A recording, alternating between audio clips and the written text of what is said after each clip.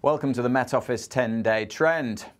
Could be a juicy one, especially if you're interested in snow. It's turned a lot colder, as you've probably noticed, and the jet stream is partially responsible for that. This is the scenario at time of recording, a very amplified jet stream, which means it dips well to the south and then arcs way up to the north. And uh, in this arc is an area of high pressure. As expected, it's been dominating our weather for much of this week and it's allowed things to turn on the chilly side. What we're going to see over the next few days is the jet stream becomes a little messier, less well defined, weaker in many forms, and as I said, just a little bit messier, somewhat all over the place by the time we get to Monday. But what's happening behind me is quite important across North America. So let's head there because quite a, a wide and uh, well defined jet stream here is splitting bifurcating is the technical term. So one arm of it does still extend up to the north, but another arm of it dips to the south. And it's that which interacts with, with this area of low pressure, which potentially brings us some pretty interesting weather as we go into next week. More on that in a moment. First of all, let's get through the rest of this week. So let's rewind the clock and come back to this area of high pressure dominating at the moment. With high pressure, the air is sinking and the winds going round clockwise. So drawing in quite a bit more cloud and moisture from the North Sea uh, over the next couple of days. But with the sinking air from that area of high pressure, it does keep things dry for the vast majority, bar a few scattered showers here and there. Notice this cold front is approaching. More on that as we get into the weekend. But generally speaking, with this high sitting overs for the next couple of days, for the rest of this week, it, stays largely dry, bar the odd shower. Stays chilly, but if anything, temperatures will be ticking up a little bit through the second half of this week compared to the uh, early part of the week. And certainly in the south, not as frosty because there will be a bit more cloud coming in as that area of pre low pressure sinks to the south and then away to the west. So that's the rest of this week. But what happens at the weekend is quite interesting. We start to see that cold front we saw earlier just pushing away the area of high pressure. So it starts to drift away to the west. That cold front probably not having much in it in terms of wet weather because it's bumping up against the high pressure, but it's followed by another and then potentially another one. And it's certainly going to be followed by the winds coming down from the north. Northerly winds obviously are going to bring some pretty cold air. So I mentioned temperatures actually rising a little bit over the next couple of days by day, but we'll notice then a drop in temperatures as these cold fronts introduce colder air from the north, initially just across the north into Saturday, but then becoming more widespread, that colder air drifting right across the country by the time we get to the end of the weekend these weather fronts, as I say, will introduce more cloud and maybe a bit of patchy rain and a little bit of hill snow, but not a great deal as they sink southwards. But as we get into the colder air further north and the isobars squeeze together, we're going to see strong winds coming down from the north and they will generate snow showers bringing that colder air. And these snow showers could be fairly significant, particularly when uh, attached to those strong and gusty winds as well. The Northern Isles, but parts of the north of the mainland of Scotland could see some heavy snow showers during Sunday and into Monday morning in particular, maybe even grazing parts of northeast England. So some snow showers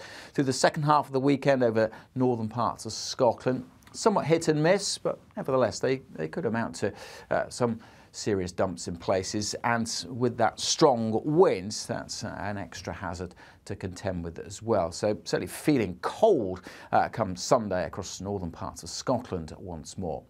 The cold air in place though right across the UK by the end of the weekend, but then our attention will be drawn to what's going on out in the Atlantic. And that area of low pressure we saw earlier. There's a lot of warmth tied into that area of low pressure, but also as it's developing out in the Atlantic, there'll be a lot of moisture, so quite a lot of rain tied into it too.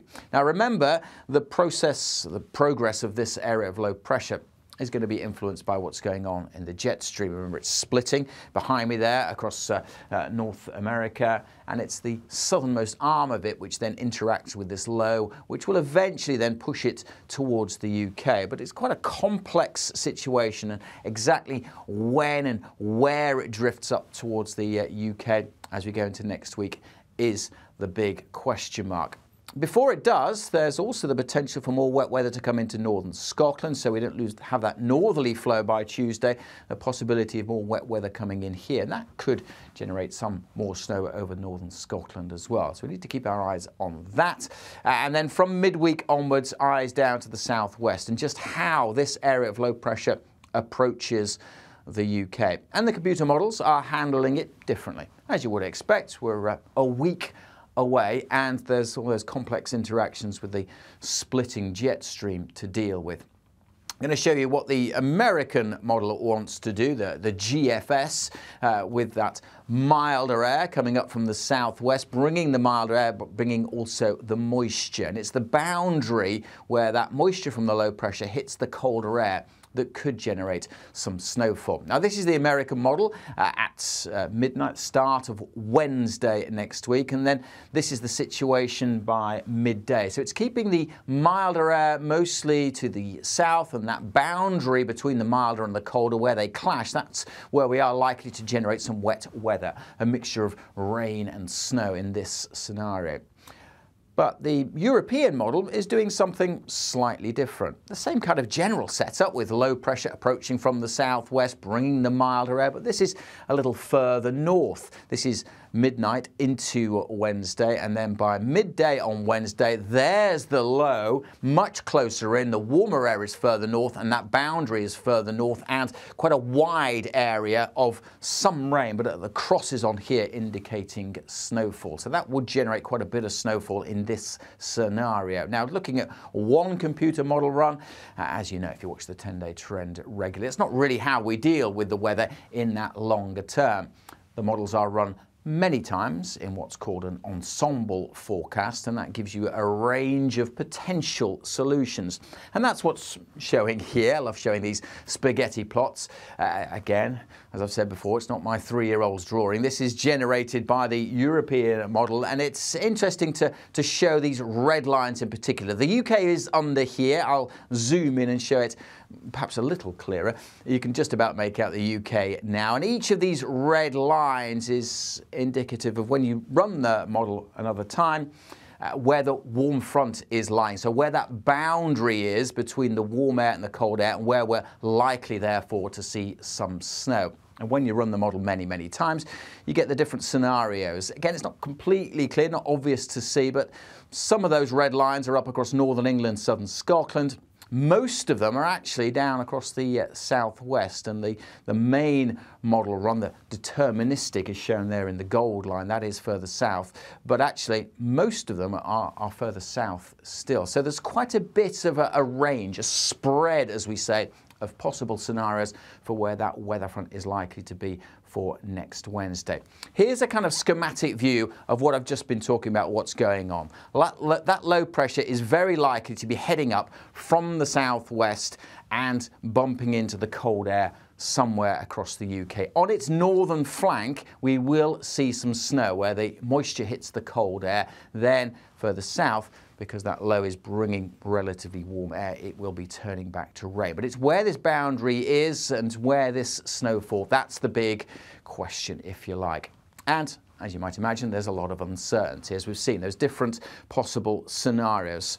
It may be that the low stays to the south and we actually don't see very much snow at all. The UK just stays in the cold air as we go through the middle part of next week. This is uh, an unlikely scenario, but it is still possible. Another unlikely but still possible scenario is the low is much further north, much more uh, developed, and the snow risk would then extend into parts of Northern Ireland and southern Scotland. The most likely scenario is for something in between, but it's hard to say at this stage where we're most likely to see the snow, but somewhere in the zone across England and Wales, that is the most likely for scenario for some significant and potentially disruptive snow at this stage. But this is a week away, so pinning down details is not possible at this stage. We will keep you updated. Couple of graphs now to show you the uncertainty uh, and the disparity in the uncertainty across the UK, if you like. These are the temperature trends, the meteograms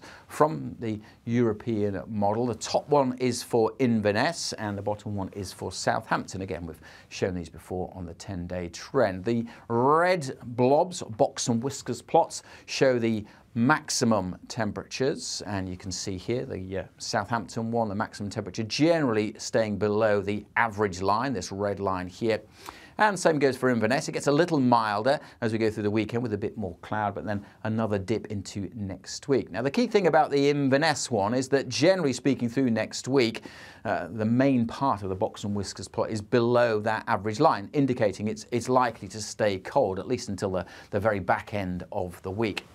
But what I want to show you here is this Southampton one and how suddenly the boxes expand. Just emphasizing that uncertainty, that range, because this is the European model, and we saw earlier with that spaghetti plot, if that warm front is further north, that would bring pretty mild air to Southampton, whereas if it stays further south, it would be cold. So there's a lot of, again, spread, a lot of uncertainty in the temperatures as we go through uh, next week. And of course, the temperature is crucial to the, to the phase, to the flavour of the precipitation that we see. Will we see rain? Will we see sleet? Will we see snowfall? Another way of showing that is, is looking at a different plot. This is showing the temperature for Exeter, not at the surface, but about a, a kilometre, kilometre and a half up through the atmosphere. And again, running the model many, many times, and each of these dotted lines represents a different one of those computer model outputs. The strong pink line is the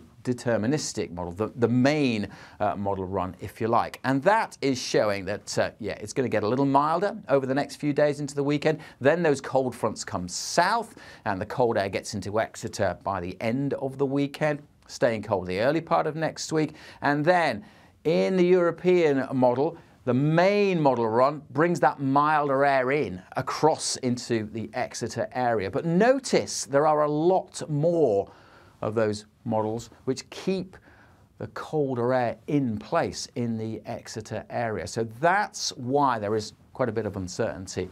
Again, this is a week away, so nothing too unusual about this amount of uncertainty at this stage, but obviously it is crucial for determining exactly where and exactly when we will see snowfall. Now, I've mostly been talking, talking about the scenario through Wednesday, Thursday next week, but that's not, again, definite with that uncertainty with the jet stream and where that low is, it might not just be one low that we see coming in, bringing the potential for snow in parts of England or Wales. It could happen a couple of times. And this is the scenario for Friday, the most likely scenario for Friday of next week, suggesting these numbers here that the air will still be cold, below average temperatures, and that low pressure may again be threatening to come up from the southwest. So it's not just uncertain about exactly how far north or how far south, it's exactly when we see these low pressures coming in that's also open to doubt at this stage. But again, nothing unusual about that. We're talking now 10 days ahead. So just giving you the heads up that next week, there is a reasonable chance that at some point we could see some significant snow across parts of the UK. But right now, it's too early to say where, it's too early to say when. So please stay up to date with Met Office weather forecast. Easiest way to do that, hit subscribe on the YouTube channel. But of course, remember, we are uh, always right across all the social media channels as well.